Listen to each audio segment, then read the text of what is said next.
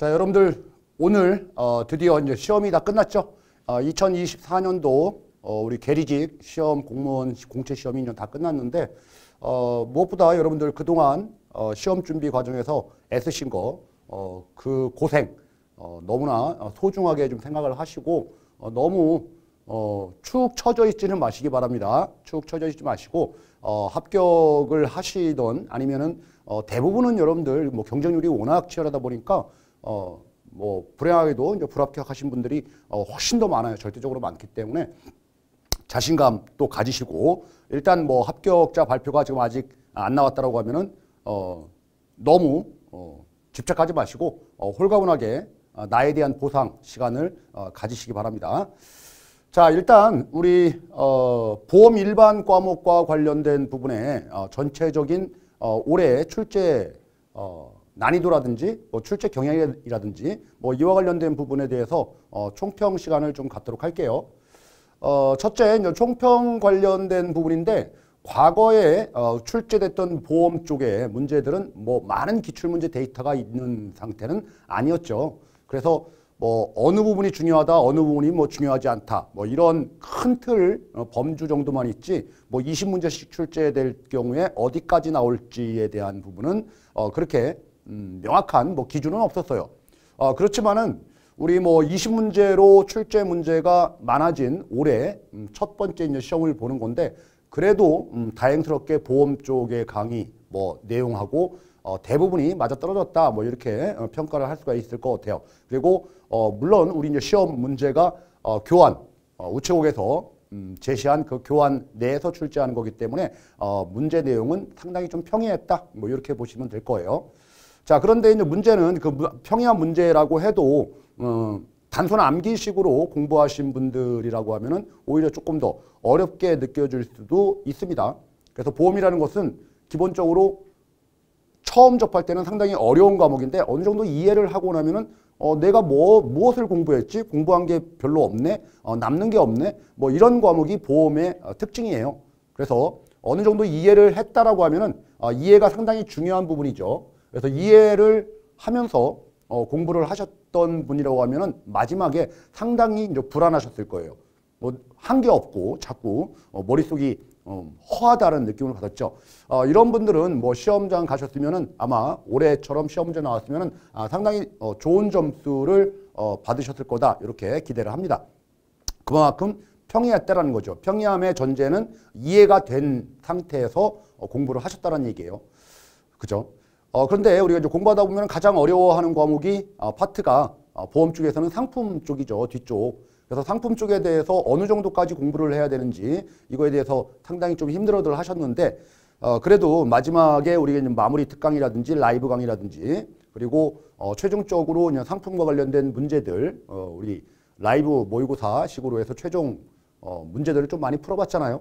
그래서 어떤 어, 기준점을 가지고 어, 상품을 정리를 하는 것이 어, 바람직할까라는 부분에서 우리 올해 시험은 그런 방향에 좀 잘 맞았던 것 같아요. 그래서 세세한 뭐 특약이라든지 아니면은 뭐 보장 금액이라든지 뭐 이런 부분들은 아예 시험 문제에 언급도 안 됐죠.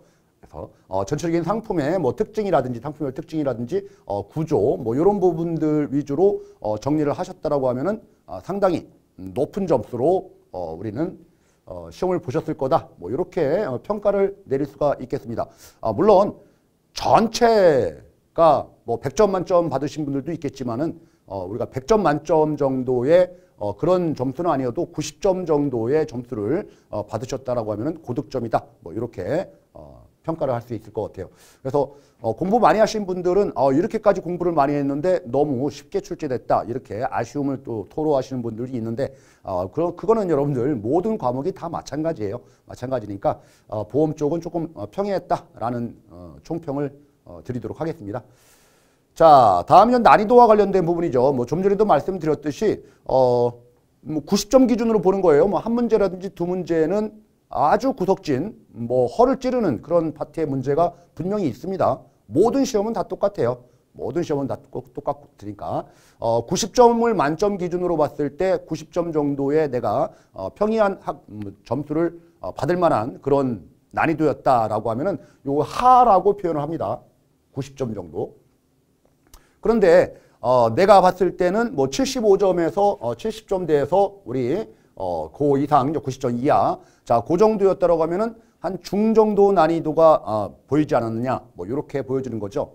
뭐 최상급 난이도라고 하면은 70점 밑으로 음, 나오는 거예요. 내가 아무리 공부를 많이 했어도 70점 이상 맞으시는 분들은 상당한 음, 고수들인 거죠. 어, 그런데 어, 좀 전에 말씀드렸듯이 우리가 어, 보험에 대해서 이해를 하시면서 어, 공부를 하셨던 분이라고 하면은 상당히 평이한 어, 중보다 조금 더 낮은 어, 예를 들어서 뭐 85점에서 어, 90점 어, 넘는 이런 정도의 점수를 받으셨을 거라고 어, 믿어 의심치 않습니다. 물론 실수한 부분도 있죠. 여러분들이 푸시다 보면은. 그죠? 음, 저도 실수해요. 뭐 어떤 시험을 보든지 간에 어, 100점 만점으로 이렇게 받으시는 분들은 참 대단하신 분인 것 같아요. 그래서 뭐 실수 부분들을 어, 내가 실수한 부분들을 실수를 안 했다라고 하, 한다라고 하면은 뭐이 정도, 이 정도 점수는 어, 받으셔야 되는 어, 그 정도 어, 난이도의 문제다. 뭐 이렇게 보시면 될 것 같아요.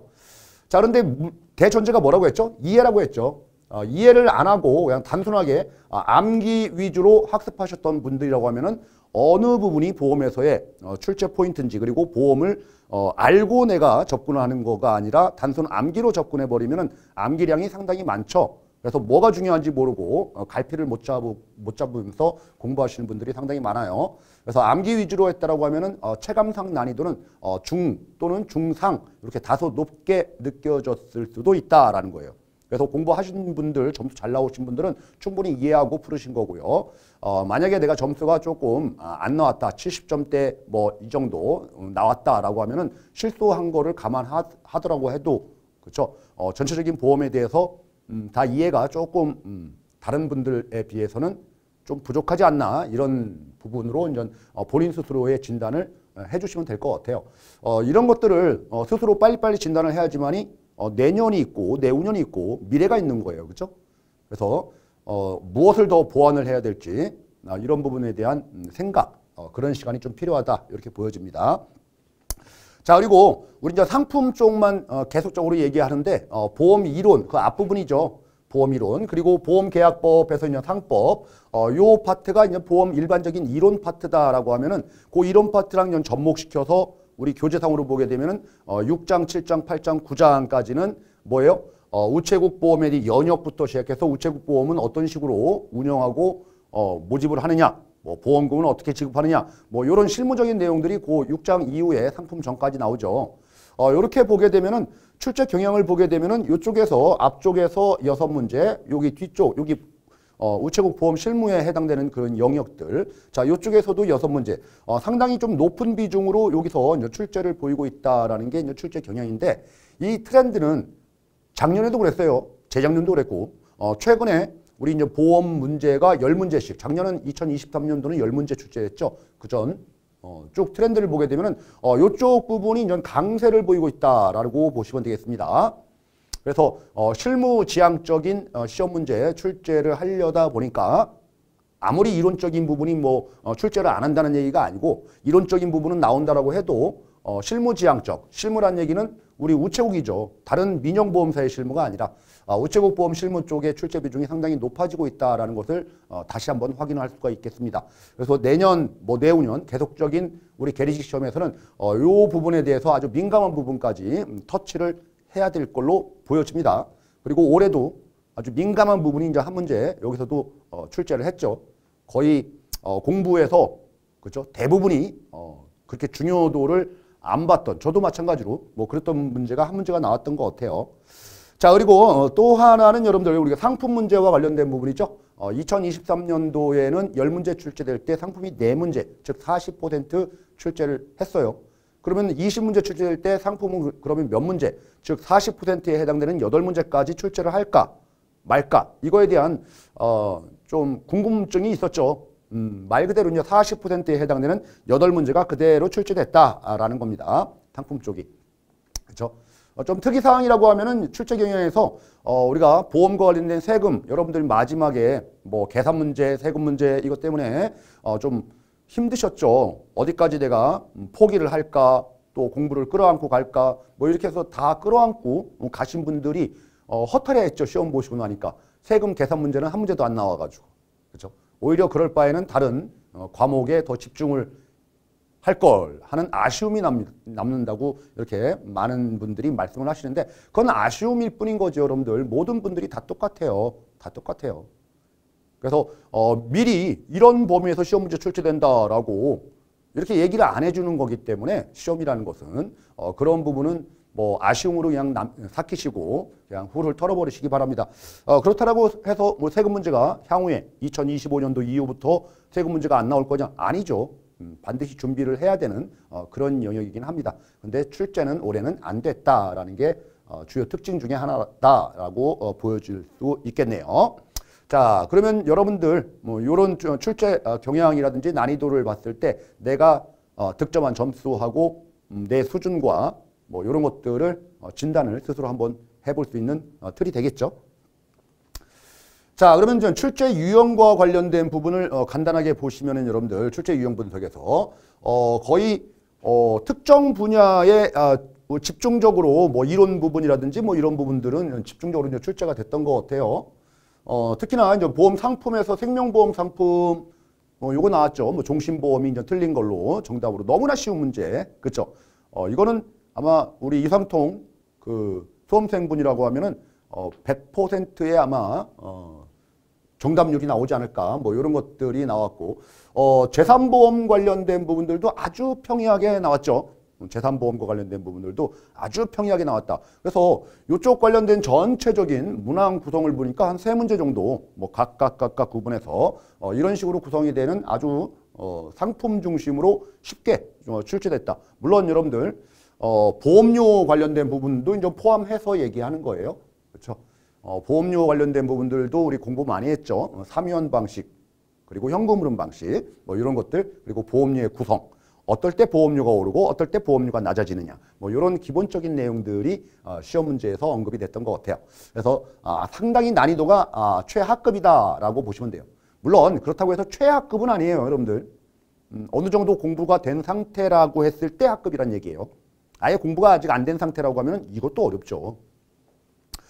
자 다음에 우리가 이론적인 부분에서는 어, 우리가 underwriting이라는 게 또 어, 나왔죠. 우리 이제 계약 심사라는 부분인데 우리가 우체국에서도 underwriting이 있고요. 그리고 일반 이론 쪽에서도 underwriting이 있는데 뭐 일반적인 underwriting 순서를 묻는 문제였습니다. 어, 너무나 이거는 어, 다 맞췄을 거예요. 어, 물 그쵸? 어, 처음에는 설계사분이 어, 만나서 underwriting하고 그 다음에 진단받게 되고 그리고 어, 회사 내에서 어, underwriting 어, 심사 절차를 어, 거치고 그리고 계약적부 확인하고 나중에 보험 사고가 발생했으면은 underwriting이 잘 됐는지 조사하고 뭐 이런 일반적인 순서 어, 그런 것들이 이제 시험 문제 나왔다라는 거예요. 그리고 이제 보험 모집할 수 있는 자격과 관련된 부분으로 보험 모집할 수 있는 자는 어, 보험 설계사뿐만 아니라 대리점, 중개사 그리고 회사의 임직원도 그쵸 보험 모집을 할 수 있는데 뭐 대표이사, 사회이사, 감사, 감사위원 이렇게 이사자, 감사자 들어가는 외, 어, 내부에서 어, 관리도 하지만 감독도 하는 감독기관들은 보험 모집을 할 수가 없죠. 그렇죠? 이, 이런 식의 문제가 이제 두 문제가 나왔는데 이 부분도 어, 우리 이론 쪽에서 나와 있는 뭐 상품이라든지 보험료의 구성, 보험료의 요소 뭐 이런 부분들에 비하면은 어, 난이도가 이거보다 오히려 더 어, 낮은 수준의 시험 문제가 이렇게 구성이 됐어요. 그러니까 결론적으로 보게 되면은 우리 어, 보험 이론 쪽의 파트에 해당되는 underwriting 뭐 이런 부분들에 대해서는 시험 문제가 너무나 쉬웠다. 변별력이 없었다라고 어, 보여줄 정도예요.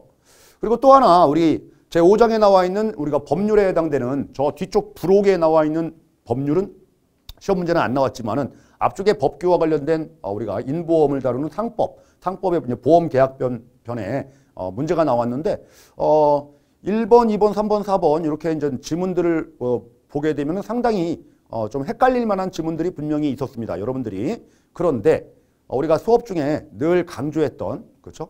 음.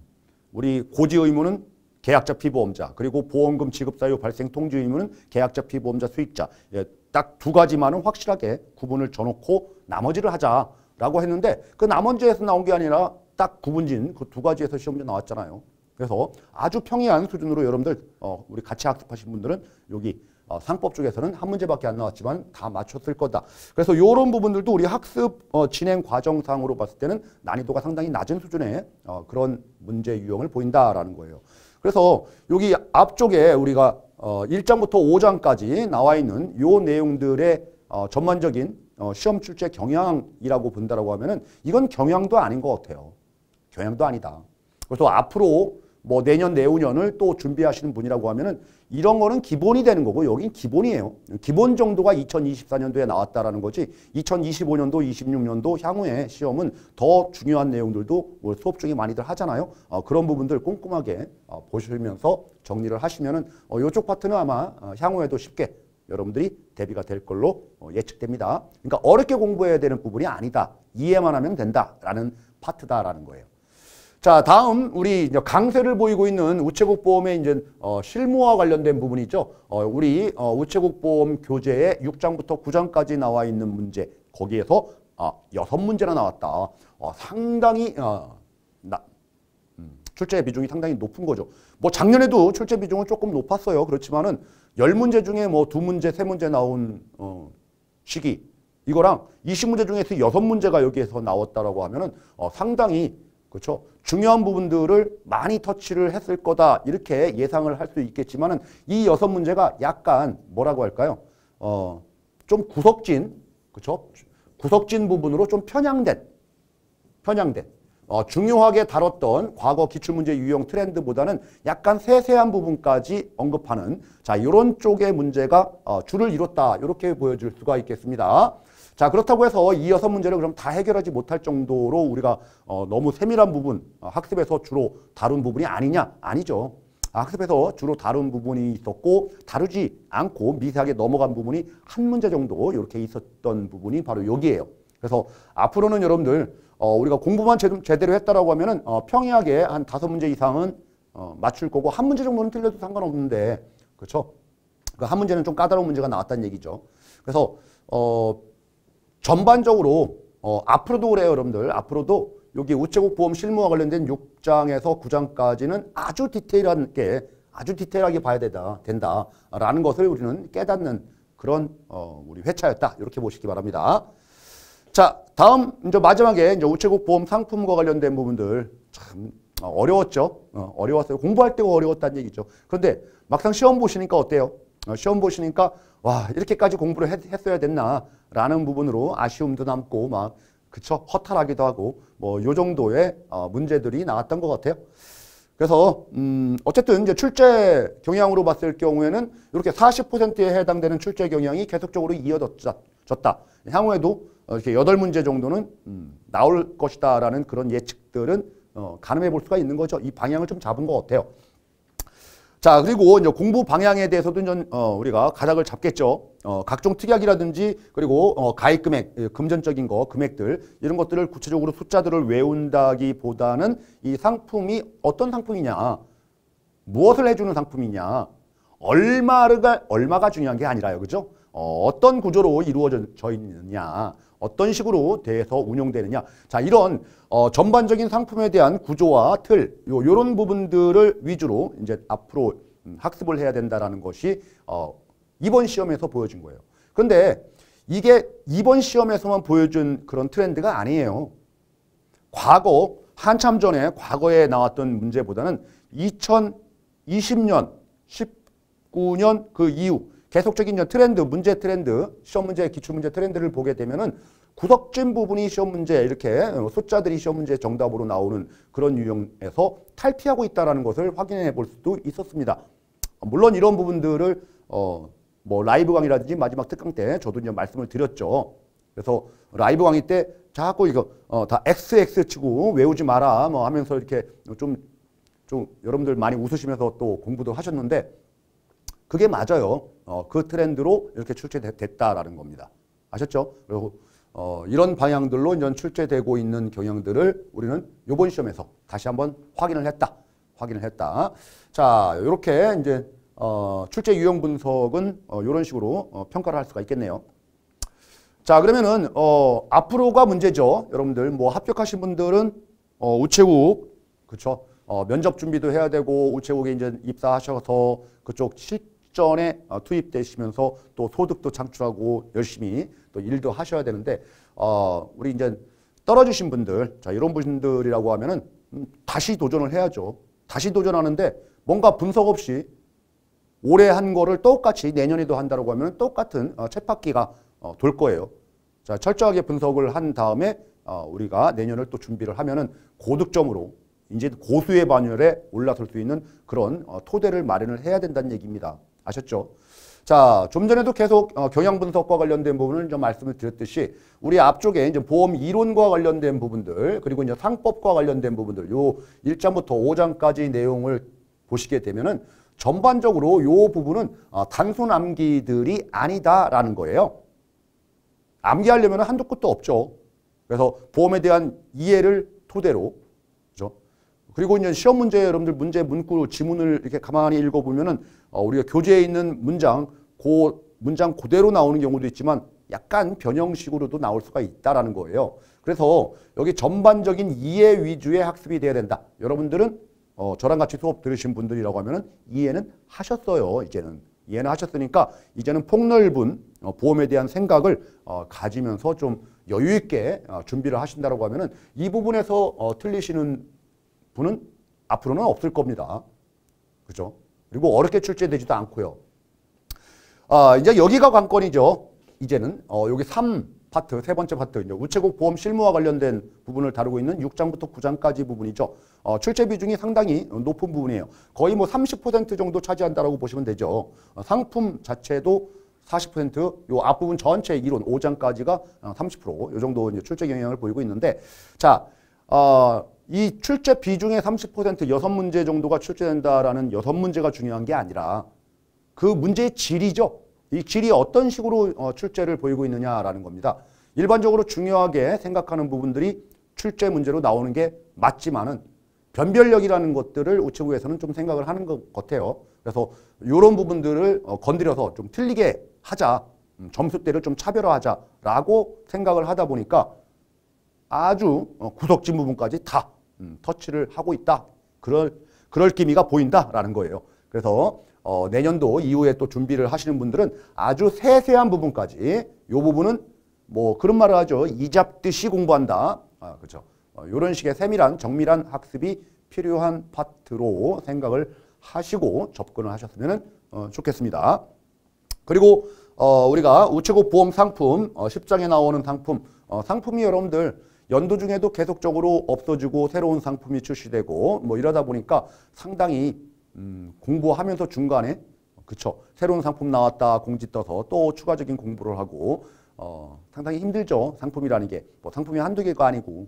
어, 그러다 보니까 이 상품에 대한 정리도 어, 금액 중심, 특약 중심 뭐 이런 식으로 숫자 중심으로 정리를 하다 보면은 워낙 상품이 다양하다 보니까 음, 정리가 잘 안 되고 힘들다라는 거예요. 그래서 어, 출제 경영에서 누차 말씀드렸듯이 어, 상품의 주요 특징과 구조, 틀, 자 이런 부분의 이해에 집중하자라는 거예요. 집중하자. 자 그러면은 앞으로는 구체적인 금액이라든지 숫자 문제도 뭐 2025년도 이후에는 나올 수도 있어요. 나오겠죠 언젠가는. 그렇죠? 자 그러면은 그 숫자라든지 금액이라든지 뭐 이런 부분들이 나오는 어, 그런 어, 때라고 하면은 아마 우체국 내에서도 중요하게 다루는 상품에 대해서 그런 언급이 있을 것이다. 어, 이런 부분들 중요하게 좀 봐야 될 숫자들은 뭐 강의 중에도 어, 계속적으로 좀 말씀을 드릴 테니까 어, 제일 주안점을 둬야 될 부분들은 이 상품은 어떤 상품이냐, 어떤 식으로 운영되고 구조가 어떻게 돼 있느냐, 야, 이런 부분에 어, 초점을 두어서 공부를 하신다라고 하면은 그 학습 분량이라든지 이런 부분들은 엄청나게 다운되고 적어지고 그리고 상품에 대한 이해도는 엄청나게 높아지고 자 이런 식으로 아주 효율적인 어, 시험의 목적에 맞는 학습이 될 거다 이렇게 어, 생각이 됩니다. 그리고 좀 추가적으로 올해는 어, 세금 문제는 안 나왔지만 음, 내년에 분명히 또 세금 나온다 이런 생각을 가지고 어, 세금에 대한 음, 학습도 함께 어, 신경을 써야 된다라는 것을 어, 확인해 볼 수가 있겠네요. 그래서 어, 올해 출제 문제는 어, 평이했지만은 뭐 한두 문제는 어려운 문제, 구석진 문제가 있었다. 그리고 이런 트렌드가 전체적인 어, 문항 구성의 트렌드는 계속적으로 갈 거지만은 그렇죠.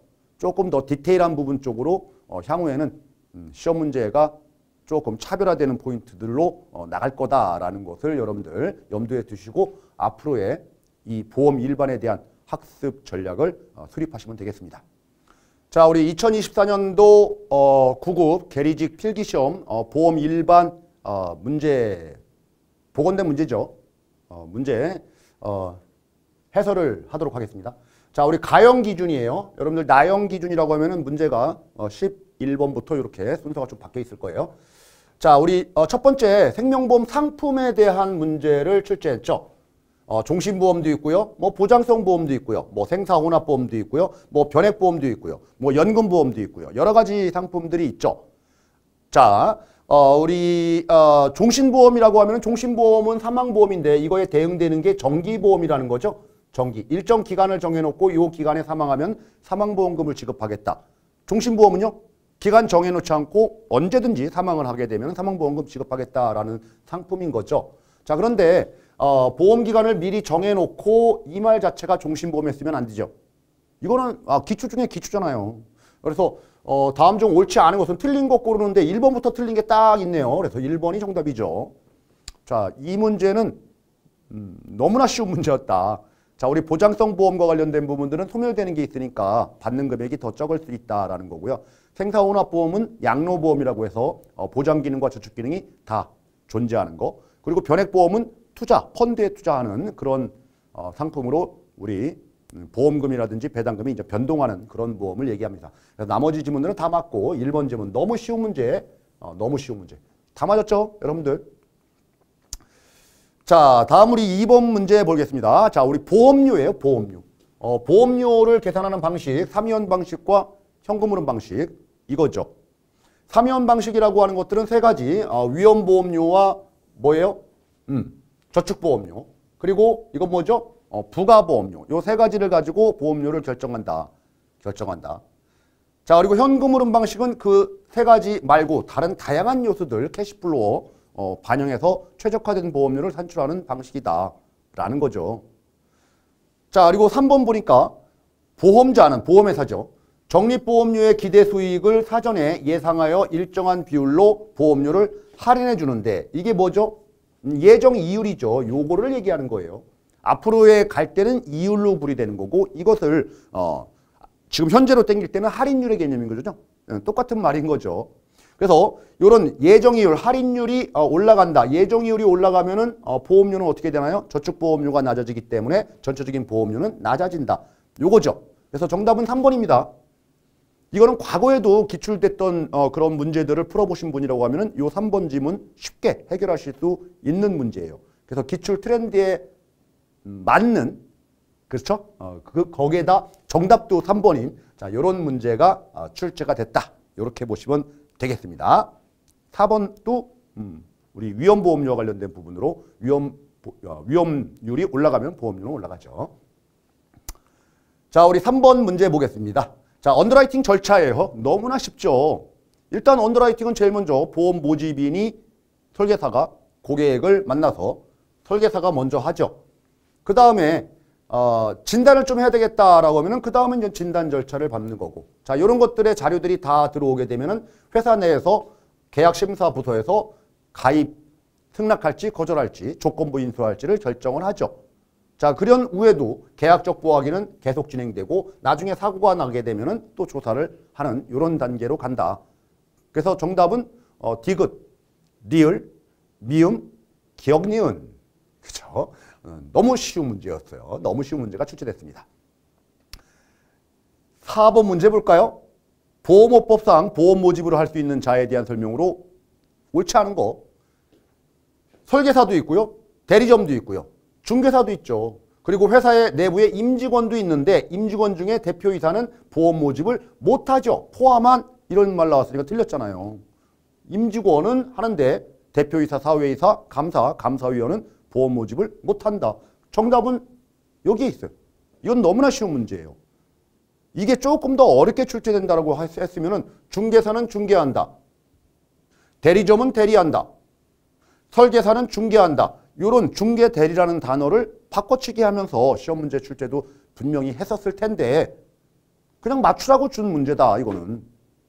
뒤쪽을 장난치지 않고 앞쪽 아주 아주 기본적인 내용을 가지고 시험 문제를 만들었다. 이렇게 보시면 되겠습니다. 그래서 정답은 2번이 됩니다. 자, 우리 재산보험과 관련된 부분 또 시험 문제 나왔죠. 이런 식으로 생명보험, 재산보험 막 어, 시험 문제가 상당히 많이 나왔네요. 자, 우리 재산보험이라고 하는 것은 생명보험적 요소뿐만 아니라 어, 손해보험적 요소도 가지고 있죠. 손해보험적 요소도. 그래서 생명보험 요소라고 하는 것들은 어, 정액보상이다. 손해보험 요소라고 하는 게 바로 실손보상의 원칙을 적용된다. 뭐 이런 거죠. 그래서 1번 지문 틀렸죠. 그리고 재산보험과 관련돼서는 질병 사망을 주계약에서 보장하지 못하죠. 그러니까 어떻게 해요? 특약으로 부과하는데 생명보험 회사가 재산보험 판매할 때는 제한이 없는데 손해보험 회사가 판매할 때는 2억 원 한도 80세 음, 이하로 가입을 할 수 있다라는 거예요. 그래서 2억 원 한도 요거 규정하고 있는 것들은 손해보험이지 생명보험사가 아니다. 라는 거죠. 이런 식으로 생명보험사 또는 손해보험사가 재산보험을 영위하기 위해서는 별도의 재산보험에 대해서 허가를 받아도 되지만은 우리 생명보험의 모든 보험 종목을 허가를 받든지 손해보험사는 손해보험 상품들의 모든 보험 상품 종목의 허가를 받으면은 재산보험 겸용이 어, 자동적으로 이루어져요. 그런데 일부에 관해서 허가를 받았다? 그러면은 재산보험 허가를 받은 걸로 보지 않죠. 않죠. 그래서 3번도 틀린 거예요. 자, 우리 재산보험이라는 것은 뭐예요? 질병보험, 상해보험, 간병보험 이, 이럴 때 보험금을 지급하는 보험이다. 너무나 쉬운 문제죠. 재산보험의 정의와 관련된 게 지문이 4번에 있고 1번, 2번, 3번도 여러분들 강의 중이라든지 뭐 이럴 때 다 우리가 재산보험에서 가장 기초가 되는 것들을 다 공부했던 파트입니다. 어, 재산보험의 기초적인 부분이 우리 5번 문제로 출제됐습니다. 이 문제 다 맞았어야 되네요. 그렇죠? 틀리면 억울했던 문제죠. 자, 다음 6번 문제 볼게요. 상법 문제죠. 어, 보험 계약에 대한 설명으로 옳지 않은 것, 아, 옳은 것. 자, 처음에 1번 지문은 어, 실효됐을 때 효력을 상실했다라는 거죠. 자, 그랬을 때는 소급되는 게 아니라 그 실효라는 얘기가 그거잖아요. 예를 들어서 보험료를 미납했다. 독촉을 했는데 그 납입 최고 기간까지 보험료를 납입하지 않으면 그 다음 날부터 보험 계약은 효력을 상실하고 해지된다. 그런 말이에요. 해지죠. 지금부터 없어지는 거지 소급되는 게 아니다. 소급되는 게 아니다. 소급되는 경우는 여러분들 어떤 경우예요? 뭐 무효라든지 취소되는 경우가 어, 소급되는 거지 실효는 그런 게 아니죠. 해지되는 것은. 자, 우리 두 번째 질문을 보면은 요거는 여러분들 헷갈려 할 수 있어요. 분명히. 자, 두 번째 질문 보면은 고지 의무와 관련된 부분 대상자가 누구예요? 개피. 자, 우리 보험 사고 발생하는 통지 의무는 누구죠? 개피수. 이거는 누차 강조해서 말씀을 많이 드렸죠. 자, 개피가 얘기를 하는데 처음 계약할 때뿐만 아니라 부활할 때도 똑같은 신계약하고 똑같은 절차를 거친다. 뭐 가속적으로 강조한 거죠. 그래서 틀린 지문이다. 자, 다음 보험증권. 보험증권은 단순한 증거증권이기 때문에 보험계약의 성립 요건도 아니고 효력 요건도 아니다. 성립하려면은 보험계약자의 청약에 대해서 보험회사가 승낙한데 낙성계약 계속적으로 말씀드렸잖아요. 성립 요건이다. 이거 틀렸죠. 너무나 쉬운 지문이죠. 1번 지문이 좀 헷갈렸을 거예요. 자 우리 4번 지문 보죠.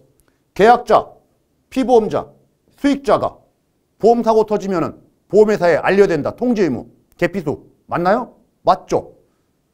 고지 의무는 개피, 사고 통지는 개피수. 두 개를 우리 그 대상자별로 여러분들 우리 문제집에서도 봤잖아요.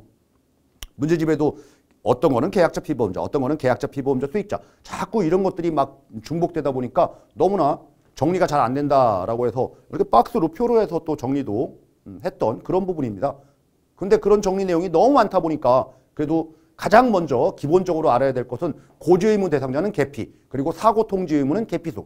요거 두 개만큼은 반드시 알고 나머지를 하자. 나머지를 안 했다 해도 이 두 개만 으로도 풀 수 있잖아요. 자, 맞죠, 이거? 4번은 확실하게 맞다. 그래서 1번은 틀린 거다라고 하면은 여러분들 답 고르는데 그렇게 어려움이 없을 겁니다. 옳은 것은 4번이 되겠죠. 그래서 6번까지 문제가 좀 평이했다. 다음 7번 문제. 7번 문제도 너무 평이하죠. 우리 우체국 보험과 민영 보험을 비교하는 거. 비교하는 거. 비교하는 거. 옳은 거 고르라고 합니다. 옳은 거. 자, 우체국에서는 여러분들 퇴직보험이라든지 변액보험, 어, 손해보험 이런 거 취급 안 한다. 생명보험, 그죠? 인보험, 재산보험 이런 것들을 취급한다. 우체국에서 취급하는 보험이 어떤 거냐 이런 거 취급 안 한다. 당연한 거 아닙니까 1번? 다음 2번 보겠습니다. 민영보험. 우체국 보험이 아니라 민영보험은 어, 금융위원회 금융감독원의 관리감독을 받는데 감사원 쪽은 아니죠. 감사원은 우체국의 그렇죠 관리감독하는 주체죠. 다음 우체국 보험은 보험 가입하는 금액이 사망보험금은 4천만 원까지 가입이 안 된다. 뭐 제한이 없다. 이거 틀리잖아요. 틀리잖아. 자 그런데 4번 부분이 너무 힘들 수도 있어요. 그런데 어느 정도 다들 풀으셨을 거예요. 자, 민영보험 같은 경우는 예금자보호법에 적용되지만 우체국 보험은 예금자보호법 어, 적용 안 돼요. 안 된다고 나쁜 거 아니라고 했죠. 국가가 전액 다 보장해 줍니다. 5천만 원 넘게 보험 가입 금액이 있다고 하면 은 그 많은 금액 1억 원, 뭐 2억 원 다 해줘요. 그래서 예금자 보호법에 따라서 5천만 원까지 둘 다 적용된다. 이거 틀렸죠. 정답은 너무 쉬운 데 있었다라는 거예요. 정답은 너무 쉬운 데 있었다. 여러분들이 생각이 많아지고 시험 볼 때 많아지고 하다 보니까 어, 정답을 자꾸 이상한 쪽으로 이렇게 어, 좀 가게 되는 그런 경향이 있습니다. 저도 물론 시험 보면은 어, 그런 생각이 들어요. 그렇지만 우리 이번 회차의 시험은 상당히 좀 쉬운 쪽에 정답들이 많이 있었다. 이렇게 보여줍니다. 자, 8번 보죠. 우리가 이제 공익사업과 관련된 부분들. 자, 우리 공익재단 설립이 언제예요? 음, 2013년도죠. 2000년 아니잖아요. 우리 그 우체국 보험의 연역 관련돼서 쭉 그렇죠. 어, 공익과 관련된 부분들 처음은 뭐 1995년도에 어, 장학금 주는 사업으로 했지만 그 이후에 그렇죠. 공익재단을 설립했다. 뭐 이런 것들 또 공부하면서 연도 연도들을 중요한 골자의 연도들을 몇 번 정도씩 어, 언급을 해드렸던 것 같아요. 그 중에 대표적인 거잖아요. 이게 공익재단. 벌써 1번부터 틀렸다라는 거 확실하게 알 수가 있을 거고 자 다음 공익사업 범위 및 어, 재원 조성과 관련돼서는 어, 과학기술정보통신부령으로 정한다. 이건 맞죠? 어, 이거를 보면서 어, 문제집에 요거 이제 수정된 어, 사항들도 있었고 그렇죠? 어, 뭐 이런 것들 보면서 여러분들이 다 체크했던 부분이에요. 체크하셨던 부분이에요. 혹시 체크하신 분이 이거 틀렸다 그러시는 분들은 글쎄요. 어, 체크한 거를 까먹던지 뭐 여러 개를 공부하다 보니까 뭐 어쩔 수 없을 수도 있죠. 자, 어쨌든 이거 좀 헷갈렸다. 어, 그래 넘어갈게요. 자, 우리 공익재단에서 하는 사업들을 보니까 저소득층 장애인에게 안보험 지원 등 뭐 이런 것들 그런 사업에 한하여 이런 사업만 공익사업으로 발굴해서 지원해주고 있다. 이것만 하나요, 여러분들? 우리 문제집에서 봤잖아요.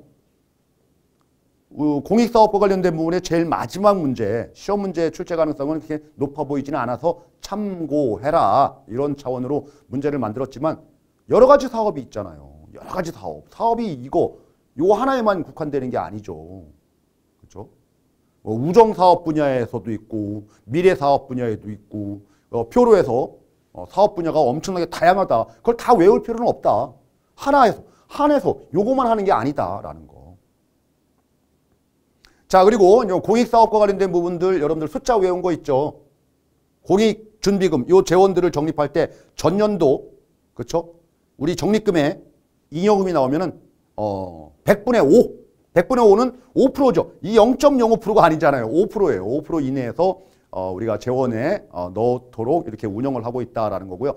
다음 그린 보너스 요 보험과 관련된 부분에 대해서는 어, 몇 프로죠? 0.05%죠. 이게 5%가 아니죠. 요거 5%와 0.05%가 뒤바뀌어 있다라는 거예요. 순서가.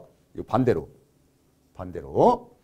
자, 그래서 이 문제도 여러분들 어려운 문제가 절대 아니었다. 어, 구석지 문제도 아니고요. 그래서 쉽게 아마 이 문제도 다 풀으셨을 거예요. 너무나 쉬운 문제. 이거는 여러분들 공부 안 하신 분들도 어, 초등학교 국어를 배우기 시작하고 국어의 단어의 뜻을 아시는 분들이라고 하면은 아마 다 맞췄지 않을까라는 생각이 듭니다. 리스크의 종류, 어, 보험 리스크, 금리 리스크, 뭐 시장 리스크, 그쵸? 뭐 유동성 리스크, 신용 리스크, 운용 리스크 여러 가지가 있는데 여러 가지가 있는데 자 첫 번째 보니까 뭐 무슨 리스크는 예상하지 못하는 손해율이 증가하는 등의 손실 어, 발생할 손실이 이제 발생한대요. 자, 우리 보험을 운영하면은 보험은 예정이율로 운영하는데 손실 날 수 있죠. 그러다 보니까 보험에서 보험금은 많이 나가는데 어, 적자 볼 수 있다.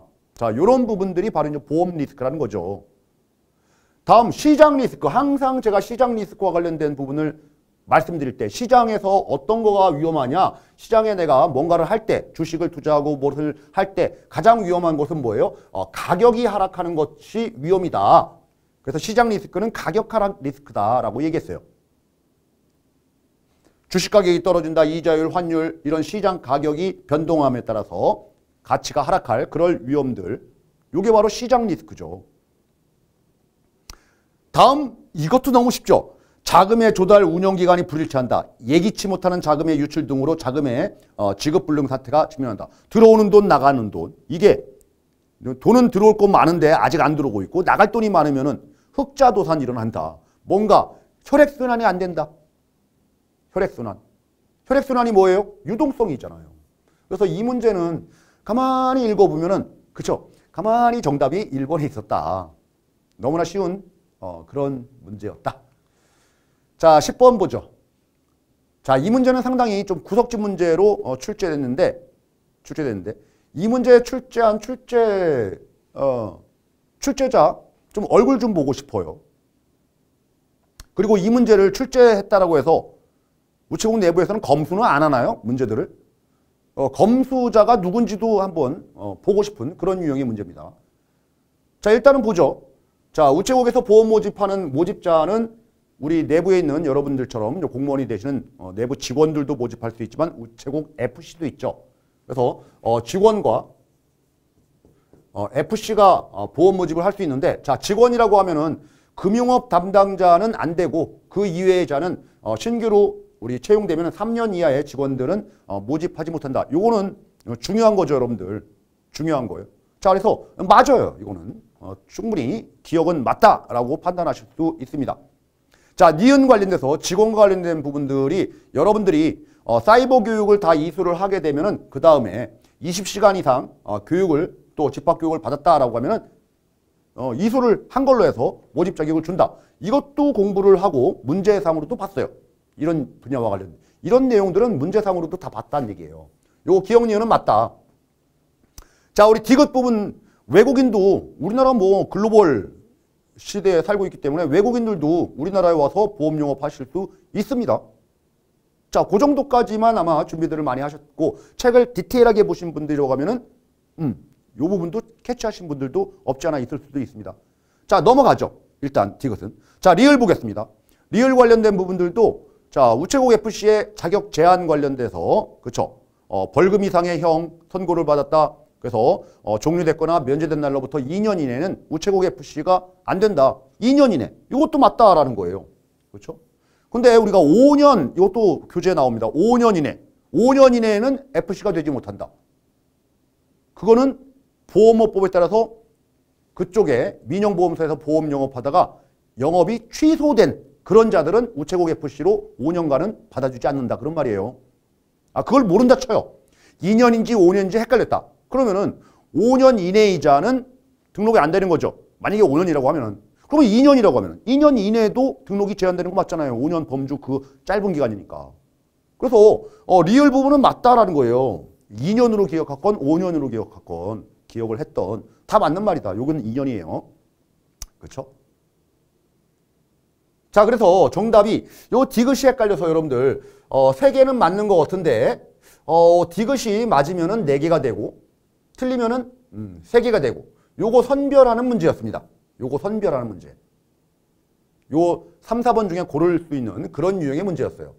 그래서 대부분들은 아마 어, 4번을 체크하신 분들이 꽤 많으셨을 거다 이렇게 어, 생각이 들어요. 그리고 미심쩍어서 어, 3번 체크하신 분들도 계시고 설마 1, 2번 체크하신 분은 없으시죠?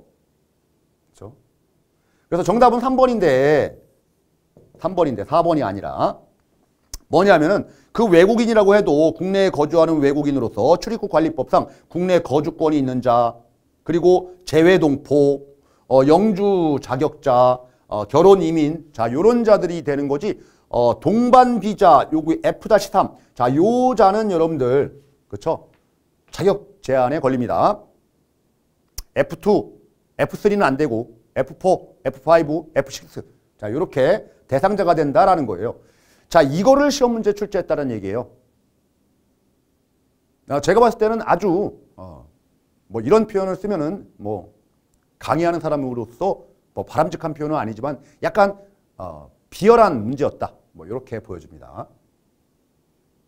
아, 이런 부분들은 그쵸 어, 시험 문제로 어, 다른 변별력 있는 어, 충분히 낼 수 있는 것들도 많이 있었음에도 불구하고 어, 이런 쪽에서 이렇게 디테일하게 음, 문제를 구성하다 보니까 여러분들이 좀 힘들었을 거예요. 요 11번, 아, 10번 문제. 그래서 10번 문제는 요 디귿을 제외한 어, 세 가지, 세 개가 정답인데 자, 우리 10번 문제에서 혹시라도 음, 틀리신 분이 있다라고 하면은 괜찮아요. 그런 것들은. 그런 건 괜찮아요. 우리가 100점 만점으로 붙어야지만이 합격하는 건 아니니까 일정 커트라인 점수 이상만 맞으면 합격이잖아요. 그래서 어, 대부분 분들은 요 10번 문제를 어, 많이들 틀렸을 거예요. 100점 맞으신 분들이 그러니까 대단하신 거예요. 이걸 맞추신 분들이. 그렇죠? 저도 보면서 깜짝 놀랐어요. 음, 이 문 이거를 보면서 야 이렇게까지 너네들이 장난을 치냐? 어, 라는 거죠. 이거는 이거는 여러분들 어, 기본적으로 시험 문제 출제자의 그렇죠? 의도가 어땠는지는 모르겠지만은 우리 공채로 시험 보는 공채 시험에 공채 시험에 이런 정도의 비열한 문제 이거는 이 문제가 잘못됐다 하자 있다 이렇게 이의 신청할 수는 없겠지만은 마음적으로 아 그냥 속에서 욕이 너무 많이 나오는 그런 문제다 네, 그렇게 보여집니다.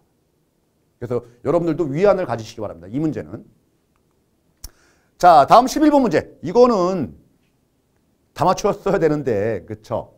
항상 우리 문제풀이 할 때도 뭐 신용카드 납입이다, 무슨 납입이다, 납입이다, 보험료 납입. 이건 상당히 중요한 내용이에요. 중요한 내용과 관련된 부분에서, 그쵸?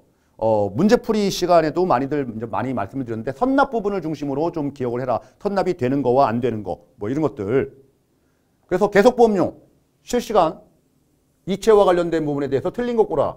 어, 선납은 우리가 계속보험료 실시간 이체에서 적용되지 않죠. 않죠.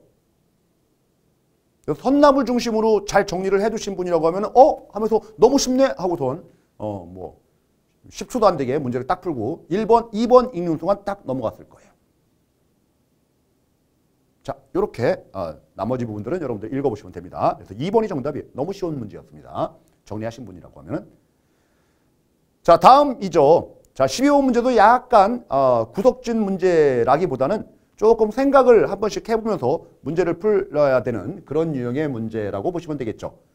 자, 보험료 할인 납입 면제에 대한 설명으로 옳은 것 모두 골라라. 오히려 개수 문제가 아니라 이렇게 찾기 문제니까 마음이 편해요. 이런 문제는. 그쵸?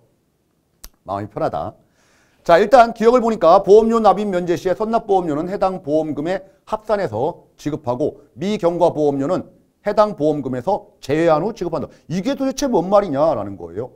자 일단 내가 보험료를 계속적으로 내고 있는데 뭔가에 뭐 불의의 사고를 당한 거죠. 장애가 50%가 났다. 뭐 이랬을 경우에는 앞으로의 보험료는 보험료 내지 마. 이게 선, 어, 그쵸. 보험료 납입 면제라는 거잖아요. 이 뜻은 아시죠? 이 뜻도 모르고 이 지문을 읽, 지는 않았겠죠.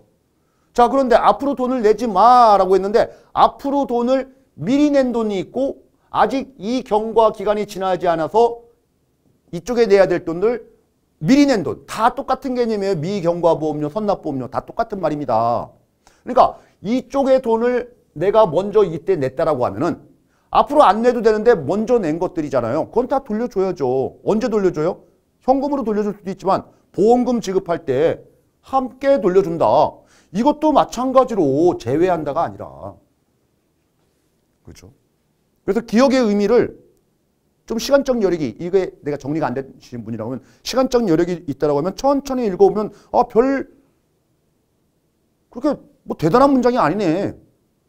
그래서 여러분들 보험이라는 것은 내가 책에서 이 잡듯이 공부를 하신 분들은 이거 뭐 보셨을 거예요. 자 그렇지만은 보험을 이해하셨다라고 하면은 이거 기억을 읽어보니까 내가 보험에 대한 일반적으로 이해했던 이 패턴하고는 좀 이상한 말을 하네. 이런 것들에 대한 느낌이라는 게 있다는 얘기죠. 그렇죠? 그래서 기역은 틀린 말이다. 그럼 정답은 3, 4번 중에 하나네요. 3, 4번 중에 하나다. 문제 풀 때는 이렇게 푸는 거예요. 니은을 그러면 볼까요? 아니면 디귿 리을을 볼까요? 디귿 리을을 봐야죠. 니은은 다 속해 있으니까. 그렇죠?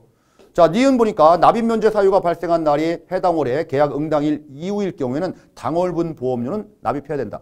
아, 예를 들어서 납입 면제 사유가 이때 발생했어요. 그렇죠? 해당 월의 계약 응당일 이후라고 하면은 만약에 어, 응당일, 응당일은 여러분들 보험 계약이라고 보시면 돼요. 계약일. 예를 들어서 5월 1일 날 내가 계약을 했다. 쭉 가다가 6월 1일, 7월 1일 쭉 갔다가 요 날짜가 되니까 어, 10월 1일이었어요. 그런데 어, 우리가 사고가 당한 날이 10월 10일이었어. 요런 말이죠. 자 그러면은 10월 1일 날 요 항상 보험료는 한 달치 보험료를 딱딱 내고 시작하라는 거잖아요. 어, 10월 달 보험료는 어, 요때 내야 되는 게 맞죠. 요것도 뭐 기본 강의 중에도 말씀을 드렸는데 그래서 어, 우리가 요 이후에 요 이후에 납입이 면제되는데 요 달의 보험료는 내고 그 다음 달부터 납입 면제가 되는 거다. 아, 그 얘기입니다. 그래서 니은 맞는 설명이다 라는 거고요. 자 디귿 보겠습니다. 실손 의료보험에서 피보험자의 의료수급권 상실되면은 우리 의료수급권자 할인 적용되잖아요. 5%. 그렇죠? 음, 상실 시에는 수급권 자격이 상실됐대요. 그러니까 어, 의료급여 대상자가 아니다. 이제는 보험료 할인 안 해주겠다라는 거죠. 그러면 그 다음부터는 할인되지 않고 그 다음부터는 상실한 날부터 어, 정상적인 보험료 내라. 당연히 맞는 말이죠. 이게 상식적인 문구들이잖아요, 지금. 상식적인 문구들. 자, 다음 우리 리을 보면은 리을에 대해서 정리가 좀 잘 안 되신 분들이 있을 수도 있어요. 어, 금리 변동형이라든지 뭐 이런 것들 그리고 어, 개인연금저축 자 이런 상품들에 대해서는 어, 선납 할인 적용되지 않습니다. 물론 이런 부분들도 다 정리를 하셨어요. 여러분들도. 그래서 리을 안 된다. 리을 안 된다. 이거를 먼저 체크하시고 접근하셨어도 정답을 고르는 데는 지장이 없고 기억이 안 된다. 기억 좀 이상한 말이다. 라고 해서 제껴놓고 문장을 보시면서 풀어, 풀으셨어도 정답은 고를 수가 있었다. 조금 어, 12문제는 음, 제가 봤을 때는 그나마 중급 정도에 해당되는 중급 뭐 최고 상급의 문제라고는 보여지지 않아요. 그렇다고 하급은 아니에요. 그렇다고 여러분들이 못 풀 문제도 아니었고 이런 문제들이 좀 많았으면 변별력이 좀 있었을 것이다 이렇게 판단이 되는데 너무나 극단적으로 쉬운 문제들로만 나오다 보니까 오히려 이 문제가 오히려 어려워 보일 정도로 음, 그랬던 어, 문제입니다. 그래서 12번은 3번이 정답이고요. 자 이제 상품으로 가죠. 상품만 8문제. 우리 세금 물은 거 하나도 안 나오고. 자 새로 나온 상품 엄마보험 100% 어, 보장한다. 22주 늘 강조했던 거잖아요. 그렇죠?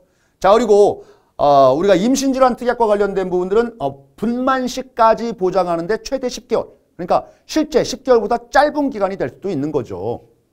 그렇죠? 실제 보험 기간은 10개월이다. 이거 말이 안 되죠. 이거보다 짧죠. 분만시까지니까. 여러분들 이런 문제 우리 모의고사 문제라든지 문제 집에도 있고 뭐 많이 풀어보셨잖아요. 이 4번 지문을 몰랐다 쳐요. 몰랐다 쳐. 그러면 1, 2, 3번이 맞는 말이냐? 이건 엄청나게 중요한 거이기 때문에 누차 강조해서 엄마 보험 새로 나온 보험인데 여기에 뭐 숫자가 들어가는 것도 아니고 금액이 들어가는 것도 아니고 그렇죠? 이 문제 틀리신 분은 조금 반성하셔야 됩니다. 근데 다 맞췄을 거예요. 너무 쉬운 문제. 자, 14번 문제. 아, 제가 제일 좋아하는 보험이 뭐예요? 그렇죠. 어, 뉴 백세 보험. 백세 보험. 자, 어, 89땡 나왔네요. 89땡. 다른 건 몰라요. 89땡. 그러면 여러분들 공부했던 거. 어, 와당땡. 와당땡.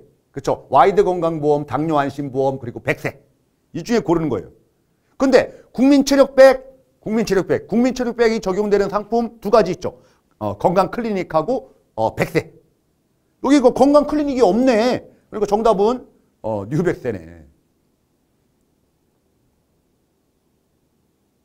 어, 제가 제일 좋아하는 상품이 이렇게 정답으로 탁 나오다 보니까 음, 저도 막 희열을 느꼈어요. 여러분들 다 맞췄죠? 음, 제가 좋아하면 여러분들도 좋아하실 것 같아가지고 어, 너무나 쉬운 문제입니다. 그죠?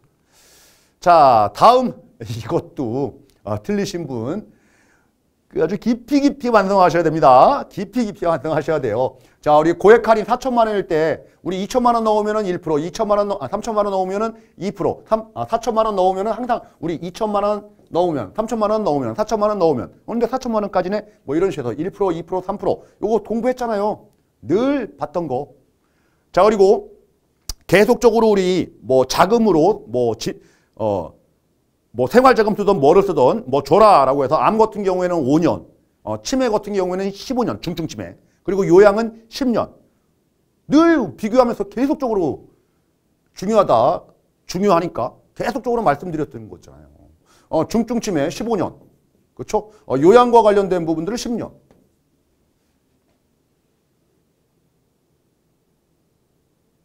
제가 어, 이거를 그죠? 어, 카페에서 보고 이제 가슴이 좀 아팠어요. 가슴이 좀 아팠다. 그래서 2년 아니다 이렇게 또 체크하셔가지고 그렇죠? 그리고 어, 15년 10년이다 이렇게 체크하셔가지고 어, 정답은 3번이다 이렇게 어, 체크하신 그 캡처된 것을 봤는데 마음이 너무 아팠습니다. 그렇죠? 이게 아니라 음, 요게 정답이죠. 자, 물론 뭐 실수들 합니다. 뭐 어, 여러 문제를 문제를 한두 문제 푸는 건 아니니까 그렇죠? 많은 문제를 풀다 보면 내가 아는데 아, 이상하게 엄한 대로 답을 체크하고 나오는 경향, 경향도 있으니까 뭐 실수 인정하는데 그래도 여러분들 뭐다 아, 알고 있는 그런 문제들이에요. 상품 문제가 얼마나 쉬웠는지 여러분들이 짐작이 되십니까? 올해? 자, 우체국 보험 상품에 대한 설명으로 옳지 않은 것을 골라라 라고 돼 있어요. 자, 우리 자녀 지킴이 보험과 관련돼서 2종 든든형은 최대 100세까지 보장된다. 맞죠? 우리 그 아이는 30세, 어른들까지 보장하려면 80세, 100세까지 된다. 든든형. 자, 우리 간편 고지 세 가지 고지로 간단하게 가입하는 거다. 자, 윈 윈 단체 플럼 보험. 여기서 나올 것은 딱 하나밖에 없다라고 해서 계속적으로 말씀드려요. 하나밖에 없다. 자, 다섯 명 넘으면은, 스물한 명 넘으면은, 백한 명 넘으면은 단체 할인. 근데 세 명. 이거는 얼투당투하는 틀린 말이죠. 틀린 말이죠. 자, 우리 4번 질문. 든든한 종신보험. 나오면 항상 우리 새로운 나온 종신보험. 하나로 오케이 건강종신보험하고 비교하자. 두 가지의 결정적인 차이점은 주계약에서 3대 질환에 대해서 선지급을 해주느냐 안 해주느냐 든든한은 해준다. 하나로 오케이 건강용신은 안 해준다. 든든한이니까 해준다. 선지급. 이거 지금 어느 하나 여러분들 그쵸? 이거 어느 하나 요 세 가지 네 가지 지문들 어느 하나 상품별로 제일 중요한 것들 중심으로만 막 어, 강조했던 것들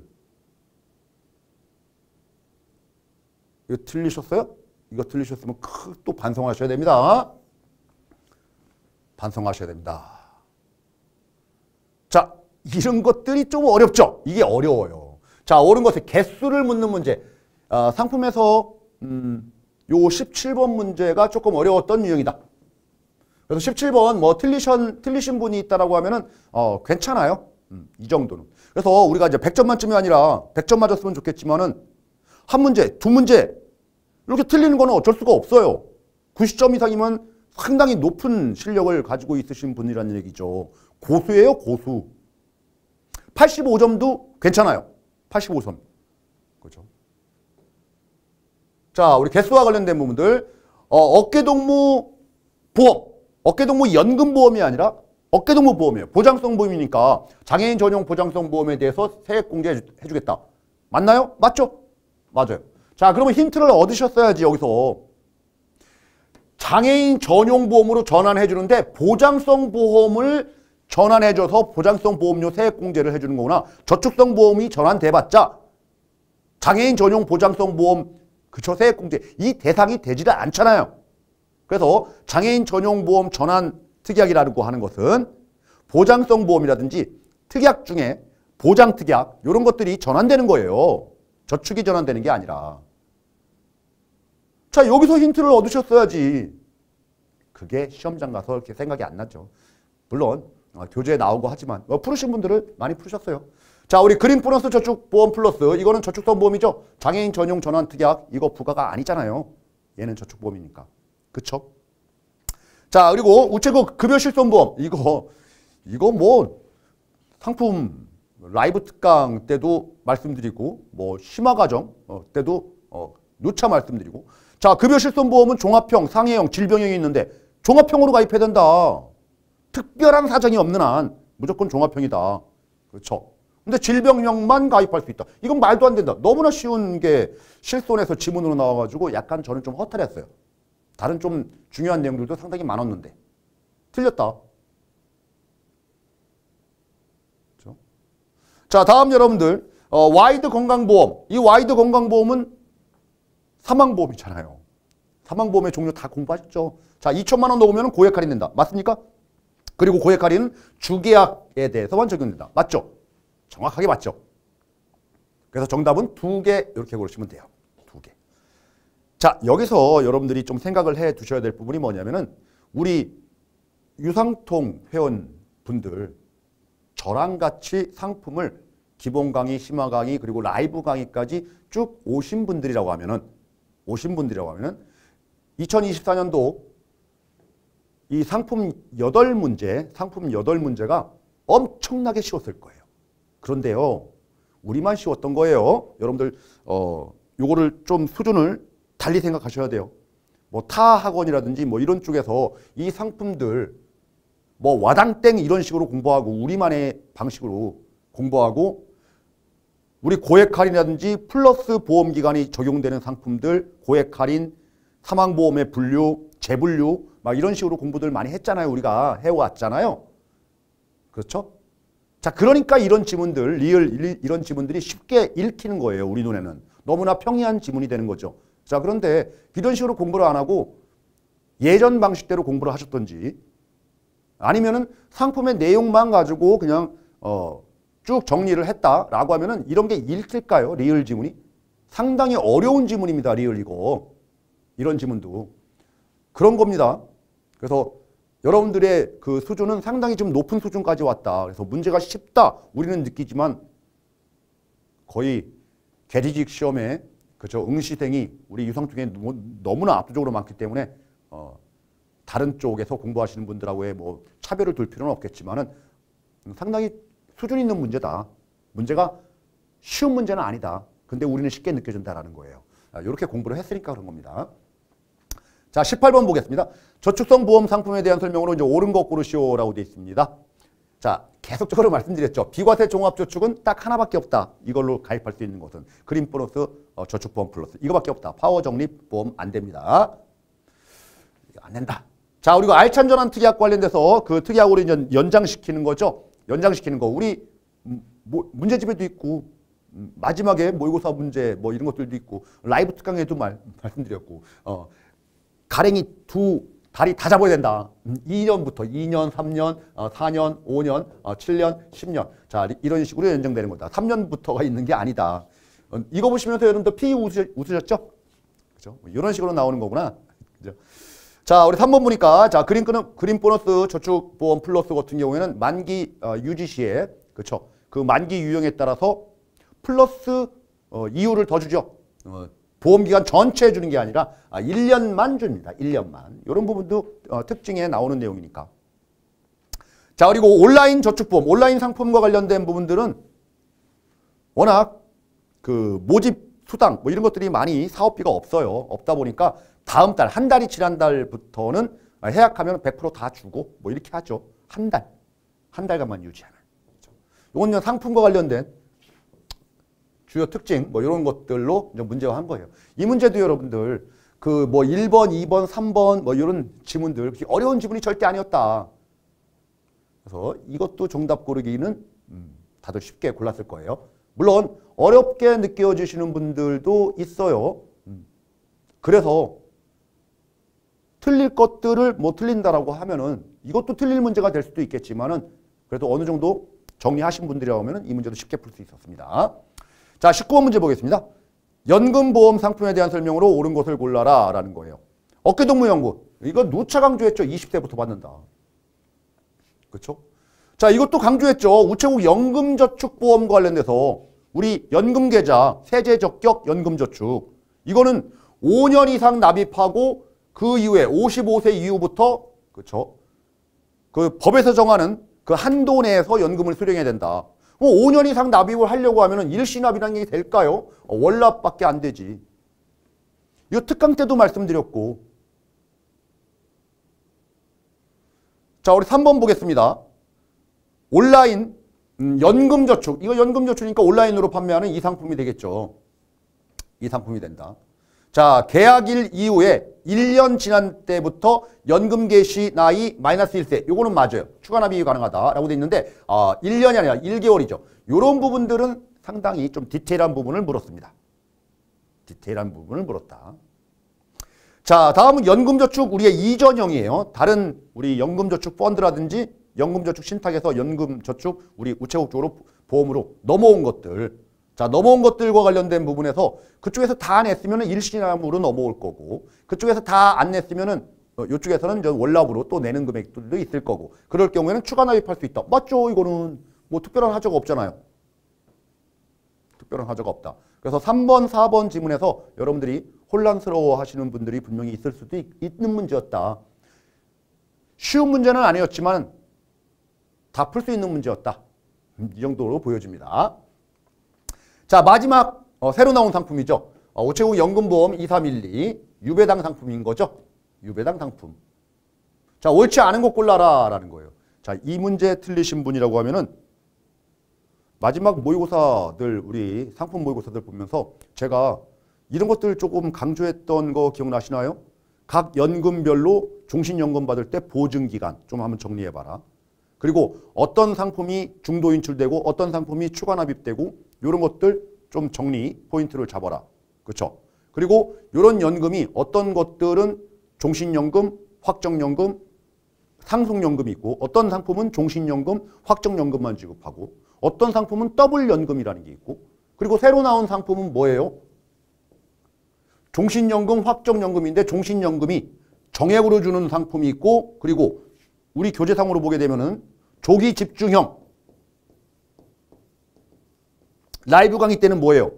전에는 후하게 주고 뒤에는 박하게 준다. 전후 후박. 어, 요런 것들이 있다라고 말씀드렸죠. 더블 연금형은 어디에 있나요? 우리 연금 상품 중에서 제일 먼저 나와 있는 무배당 우체국 연금보험 2109 여기에 더블 연금형이 있죠. 그래서 이번 부분이 확실하게 틀렸다라는 것이 금방 눈에 들어와야 된다. 음, 제가 이렇게 말씀을 드려도 그렇죠? 왜 이렇게 다 시험 볼 때 눈에 안 들어왔지? 뭐 이렇게 하시는 분들이 분명히 있을 수 있겠지만 어, 우리 합격권이라든지 뭐 어느 정도 점수를 받으신 분들이라고 하면 이 문제도 너무나 쉬운 문제였다라는 것이 확인이 되실 겁니다. 나머지 지문들은 뭐 설명을 생략해도 상관없습니다. 자, 그래서 전체적인 문제 해설은 다 맞췄는데 전체적으로 보게 되면 가장 난해했던 문제가 한 문제 있었죠. 좀 약간 비열하다는 표현까지 제가 썼지만은 한 문제. 그 문제는 틀렸다 쳐요. 그리고 조금 중급 정도 내는 문제가 한 세 문제 정도 있었어요. 세 문제. 뭐 이 문제도 포함시킬게요. 세 문제 정도. 세 문제 정도에서 내가 세 문제를 다 틀렸다라고 해도 80점이에요. 근데 어느 정도 공부가 되신 분들은 세 문제 다 맞췄겠죠. 그러면 95점이고. 95점이고.